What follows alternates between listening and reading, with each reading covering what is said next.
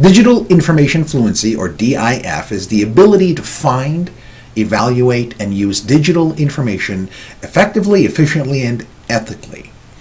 DIF involves internet search skills that start with understanding how digital information is different from print information, knowing how to use specialized tools or finding digital information, and strengthening the dispositions needed in the digital information environment.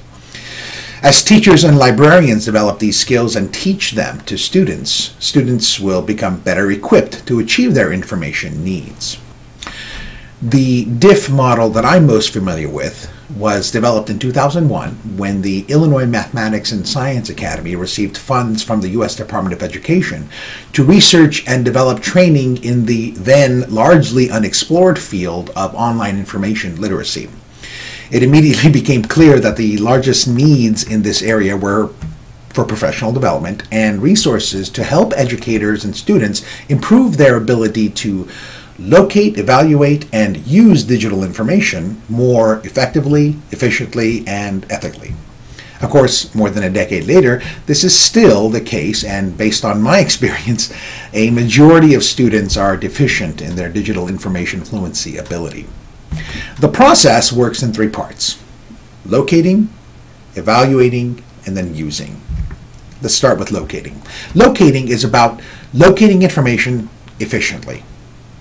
What information am I looking for? Where will I find the information? How will I get there?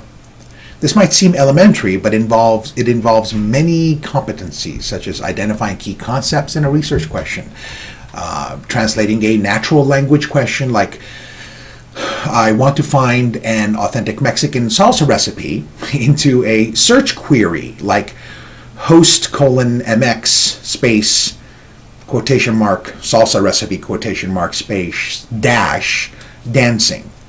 Um, other competencies include the ability to identify terms that are likely to be effective as is um, the ability to identify terms for which more effective vocabulary is likely to be required, or creating effective and efficient search queries, developing and applying vocabulary building strategies effectively to conduct a digital information search.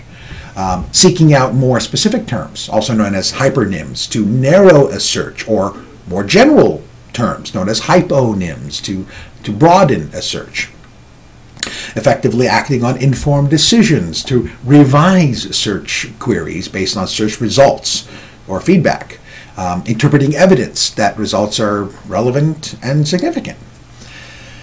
Other location competencies include effectively and efficiently selecting digital collections based on their characteristics, uh, selecting digital search tools based on their effectiveness and efficiency, and selecting and applying appropriate search strategies to effectively and efficiently locate reliable digital information related to academic learning goals. For example, learners should know the organization of digital information, select visible and deep web collections based on their characteristics, um, select features of a variety of digital tools on the probability of effectiveness and efficiency. Navigate hyperlink browsing strategies and be comfortable with branching logic and so forth. Finding what you're looking for is one thing, but evaluating it to determine how good it is requires almost an entirely different skill set. Digitally literate folks can evaluate the quality of a search result to determine its usefulness in the search process. For example, they can determine whether or not the digital information addressed the natural language question, and they can decide whether or not the digital information suggests revisions to search queries.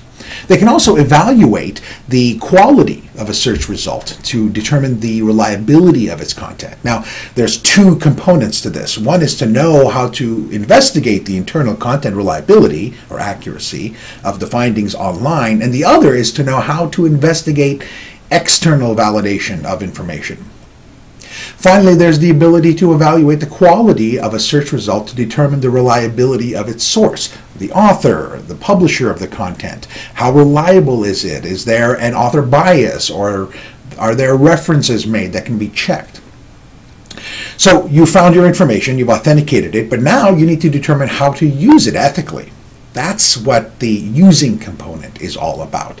How will you ethically use the information? Do you cite your source when you use content? How do you decide whether or not to integrate digital information related to a specific information task in the first place? So in this module, these are the things we'll look at. We'll look at tools too. It's one thing to know the big picture of digital information fluency, but it's, it's, another to use tools and understand concepts about how the net works to get the job done.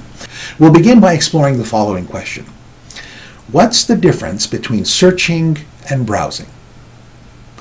When you're searching, you're exploring an indexed database web page created by a search host. When you're browsing, you use your web browser to explore a website. Conceptually, the big difference is that when you're searching, you're looking for a special content found on a particular page of a website. When you're browsing, you're simply looking through interesting SERP links. That's the search engine results page, or SERP, SERP, to find information you're interested in. So when you have keywords in mind, when you have a specific URL in mind, you are searching. Otherwise, you're browsing. For example, if you're just interested in learning more about buffaloes, you would type in buffalo in the search engine and take a look at what pops up. But what if you want to know how many buffalo are there in, the, in North America today? Uh, it takes a bit more savvy and focus to find out. It's a fine nuance, but an important one. In one, you're looking for information on Google in the other, you're doing more. You're, you're truncating URLs to discover ownership. You're using special operators to reveal hidden references. You're searching deep web databases to track down elusive sources. In browsing, you're exploring. In searching, you're investigating. Next, we'll take a look at databases.